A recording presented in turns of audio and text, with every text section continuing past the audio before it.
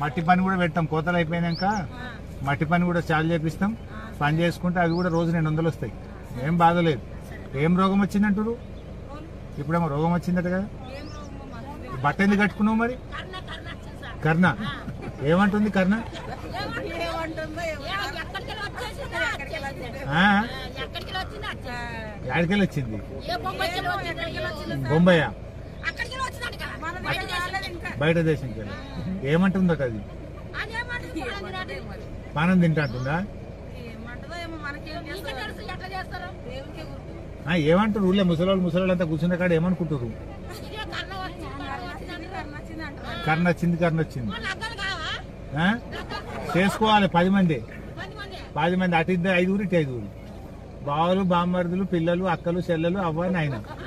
ఎవరు ఎవరు అయితే ఓ లైక్ వేసుకోండి లేదంటే ఓ కామెంట్ చేయండి. ఎప్పటికప్పుడు మా వీడియోస్ చూడాలంటే సబ్స్క్రైబ్ చేసుకోండి.